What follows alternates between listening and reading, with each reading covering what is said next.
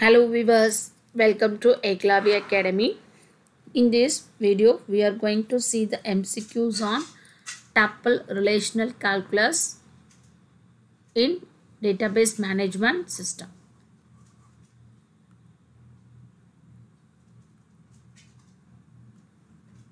Okay.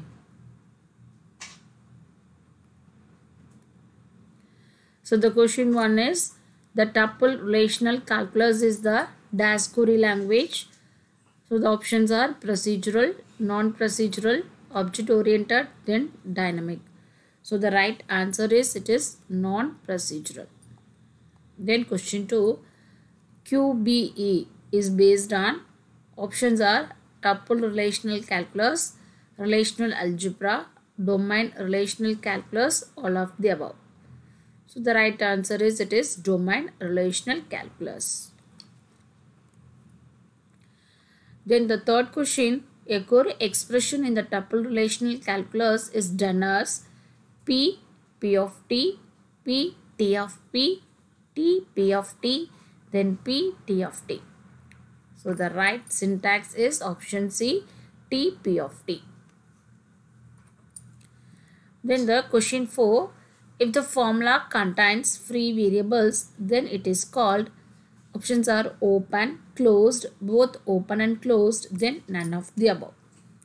So the right answer is it is open. So kindly remember this one. If the formula contains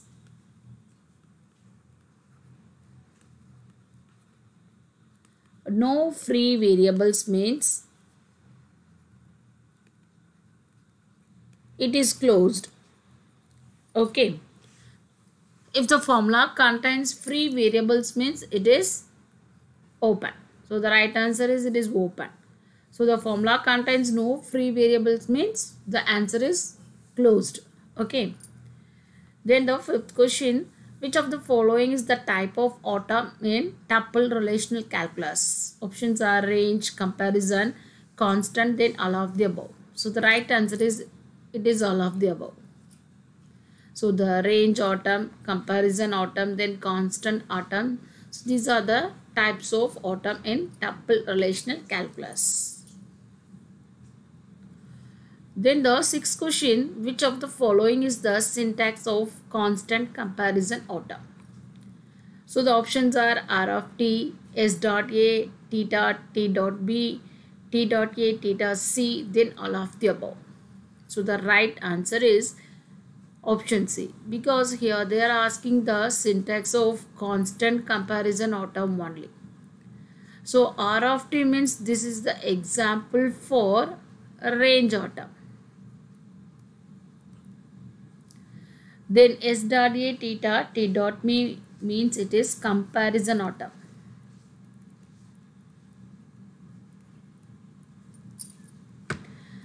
So in this one, the variables S and T is the tuple variable. Then A and B are attributes. Then theta is the comparison operator. Okay. So this is the syntax for comparison atom in the tuple relational calculus. So next one t dot a t dot c. So in this one t is the tuple variable. Then c is the constant. Then a is the attribute. Then theta is the comparison operator. Okay. Then the question 7.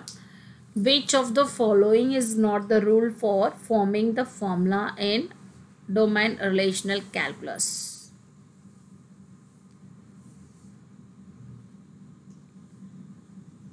So the options are on atom is the formula then if f1 is the formula then negation f1 is false if f1 is true then if f1 and f2 are formula then f1 intersection f2 is true then none of the above so the right answer is none of the above because these three are rules for forming the formula in domain relational calculus.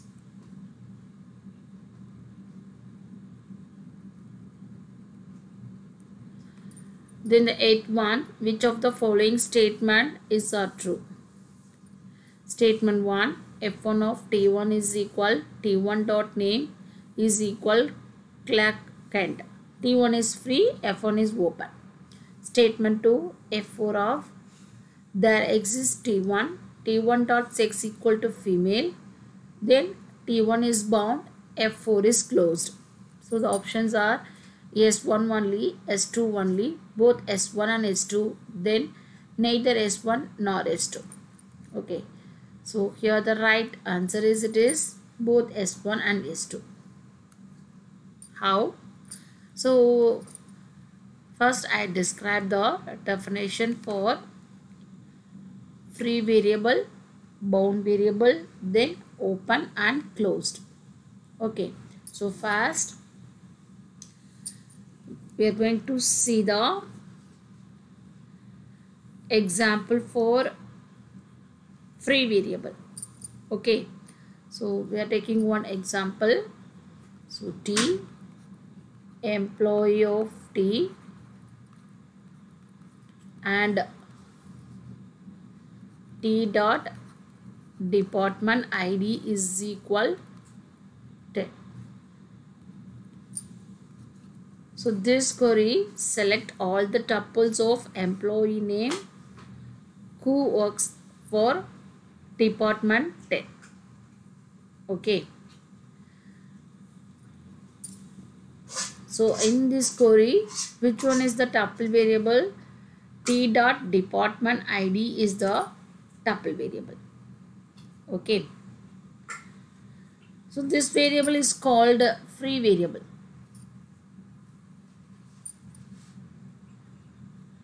why any variable without for all or there exist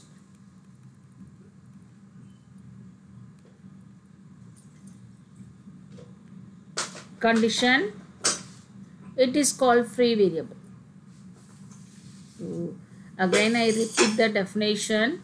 Any variable without for all or there exists condition it is called free variable. Here the tuple variable t dot department id don't have any quantifier universal quantifier or existential quantifier. So which means for all or there exists symbol not present here. So which means so this is free variable. So t dot department id is the free variable okay so we will see another example so in the another example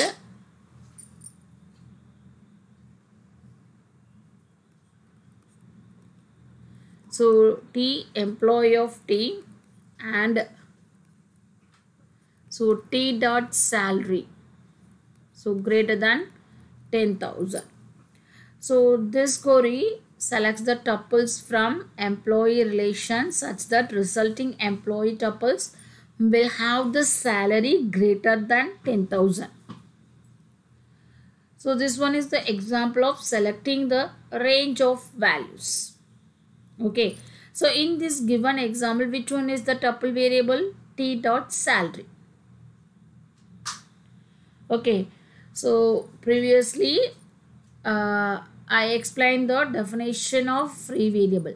Any tuple variable without for all or there exists condition it is called a free variable.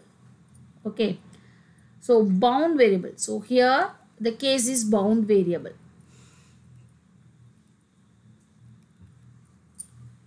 So bound variable means a tuple variable with for all or there exists condition.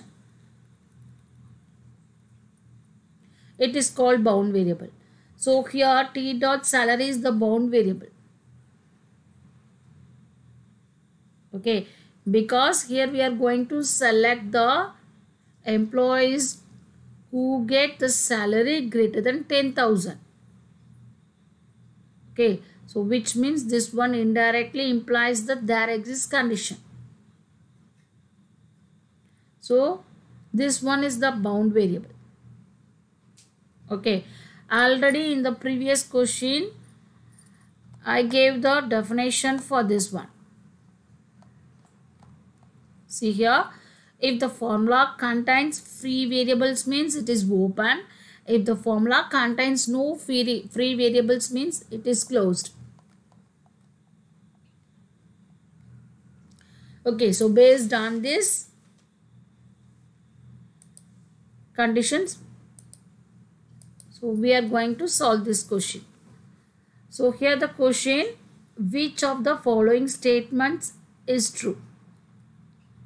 So here statement 1, f1 of t1 equal to t1 dot name equal to Clark Kent. Okay, so kindly look at this statement f1 of t1, t1 dot name equal to Clark Kent. So in this one, t1 dot name which means this is the tuple variable. So this tuple variable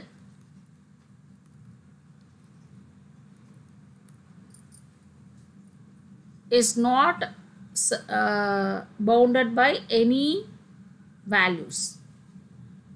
So which means this is free variable. Here no condition of for all or there exist.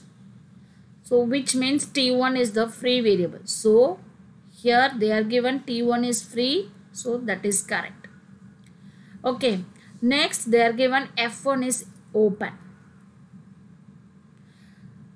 So what is the definition for open?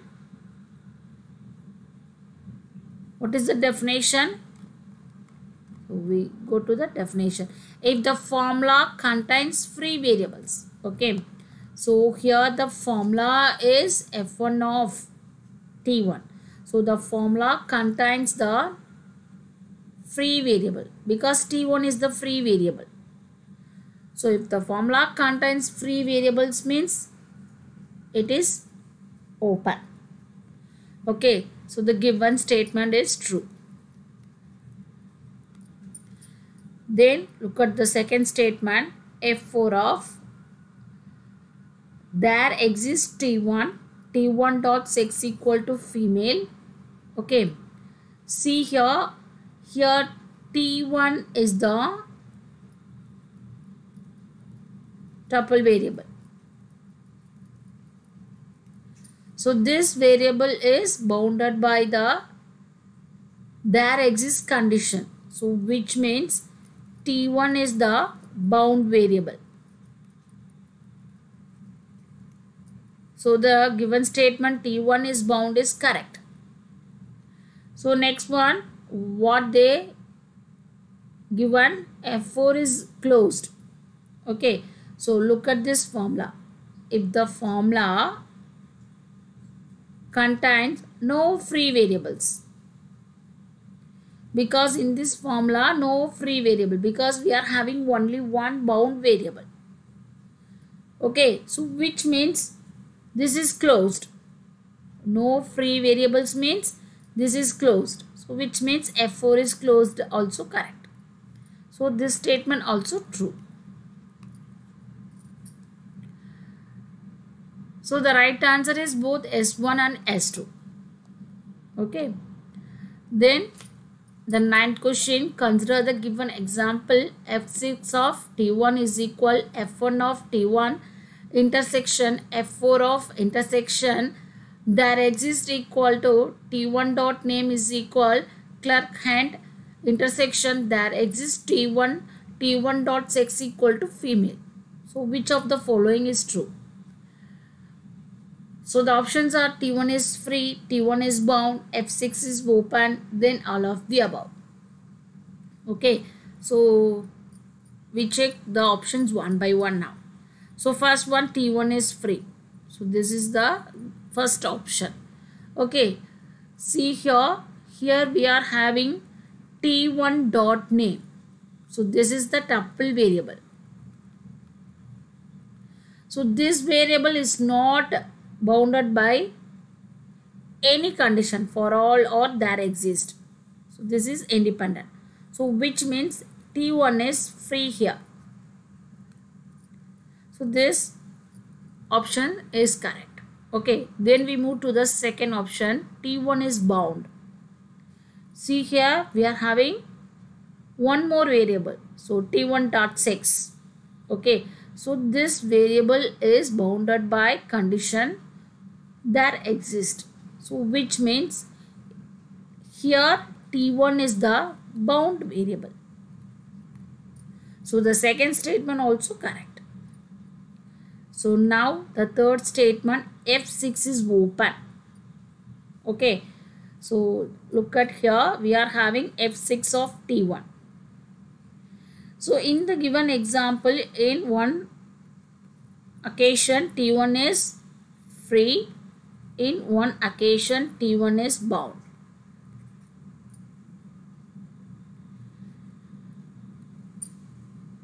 So in this scenario, if we are have at least one free variable means it is open. The formula is open. So here we are having T1 is free and T1 is bound. Okay. So check the combinations. So at least one free variable here. So which means the formula is open. So which means F6 is open. So all of the above is the right option here. Okay. Then the tenth one.